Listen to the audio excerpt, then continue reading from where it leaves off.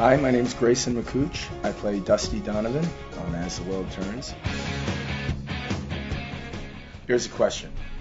Hey Grayson, your character always seems to be rescuing fair maidens. What is your favorite me- memory of one of Dusty's saves? I really like delivering Jen's baby when Jennifer was on the show. Uh, that was a good one because I thought she was going to mess up my car.